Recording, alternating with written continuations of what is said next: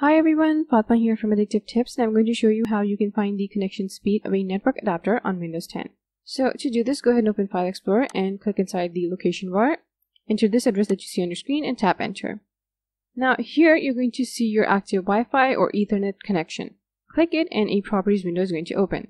Go to the properties window and look for speed. This is going to tell you the maximum speed that the network adapter supports.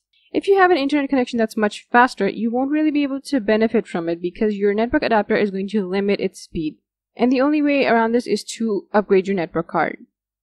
Thanks for watching. I'll see you later with more tech tips.